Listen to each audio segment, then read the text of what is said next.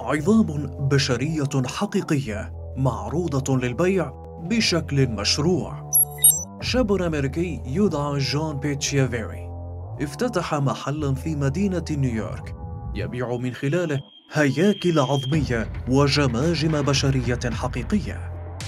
ليلقى مشروعه إقبالا متزايدا من قبل الباحثين الإنثروبولوجيين والطلبة وبائعي الإكسسوارات. فيبيع بين 20 و 60 قطعة شهرية. مقابل مبالغ مالية تتراوح بين 20 و 6000 دولار. استطاع جون ترويج نفسه عن طريق وسائل التواصل الاجتماعي حيث يتابعه نصف مليون شخص على التيك توك. إلا أن الانتقادات الواسعة لاحقته باعتبارها تجارة غير أخلاقية.